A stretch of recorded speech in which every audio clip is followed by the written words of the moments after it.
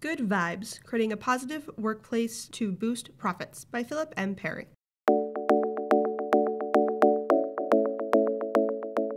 Negative businesses have a tough time making money. Employees with bad attitudes tend to pull back and maximize job security rather than create innovative solutions to business problems. Even worse, customers feel unwanted and abandoned. Negative thinking carries a real cost in terms of workplace productivity, says John Wagner, a clinical counselor in Fort Mitchell, Kentucky. Much of that cost results from poor employee performance. In the worst cases, adds Wagner, toxic workplaces cause the best employees to jump ship for the competition. Finding, hiring, and training replacement require investments in time, money, that could be better spent elsewhere. You can avoid these costly matters by creating a positive environment in your own workplace.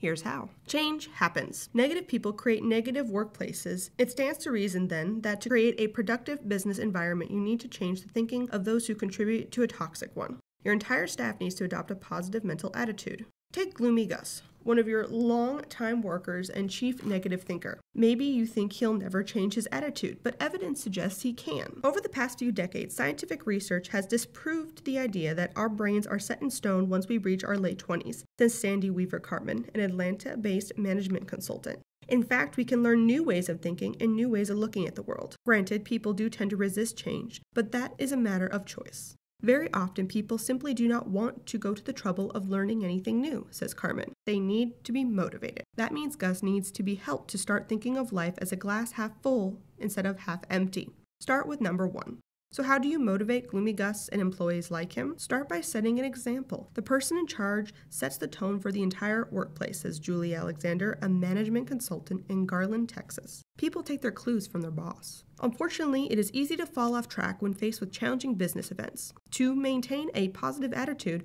we must adopt patterns of behavior that reinforce our productive mindset in the worst of times. And behavior is the key. We cannot control our emotions, but we can control how we respond to our emotions. Two behaviors tend to impact our mental state, says Tina Hallis, a management consultant in Madison, Wisconsin. The first is that we choose to think, and the second is what we choose to do on a moment to moment basis. Those little things add up. Such habits need not be major. They can be as inconsequential as buying coffee for a security guard or taking a walk in the fresh air each morning before work, and they will differ with each person. Determining to maintain a PMA is a great first step, but it's also important to get feedback on how you're doing. What does your staff think about your attitude? Your image may not be as positive as you imagine. Most of us think we're happy go lucky, says Carman, but we may be showing the world something much different. Ask your staff how you look to them, then listen to their responses. If they say you tend to be gruff, then it's time to rethink your style. Pass it on. Once you've put yourself together, encourage your employees to follow your example. How Alexander suggests building a work environment around the recipe of care collaboration, attitude, responsibility, and enthusiasm. Here's what each ingredient of that recipe means. Collaboration, a successful business result from cooperative effort. No one person is a lone ranger. Attitude, everyone is encouraged to maintain a PMA at all times. Responsibility, Every employee must learn to own a customer's problem. That means following through on every sale and service initiative until the customer is satisfied. Enthusiasm. Exhibit enthusiasm about your own duties and invite your staff to follow suit. Customers notice right away when the employees are enthusiastic about their work. Sidebar How to stay happy. Good habits lead to good mental attitudes.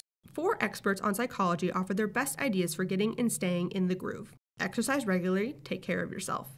Watch the words you say to yourself. Reframe your thoughts about bad events into statements that create opportunity. Take yourself lightly. When we laugh at ourselves, we learn more quickly from our mistakes. Spend 20 minutes out in the fresh air before going out into the office. Spread random goodness. When you stop for a coffee, get one for a security guard. Find a good thing to celebrate every day with your staff. Every now and then, take the staff out for drinks or a snack. When you feel workplace stress, pause and take three to five slow, deep breaths. At the end of each day, think back and dwell on two or three good things that happened. When you mess up, fess up. Managers who do that gain respect from their employees. Spend one hour a day doing what you enjoy. Create opportunities for the staff to have fun. Encourage levity in the workplace that does not come at someone else's expense. The secret to getting care in place, quality engagement with employees. You need to be a good communicator and encourage good communication among your staff members, says Alexander. Be open to one on one conversations and schedule regular staff meetings in which people feel they are listened to and their opinions matter.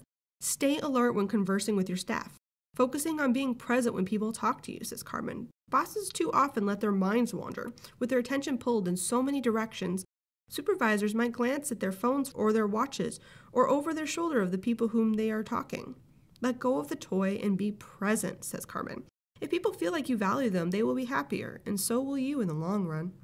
Let it go.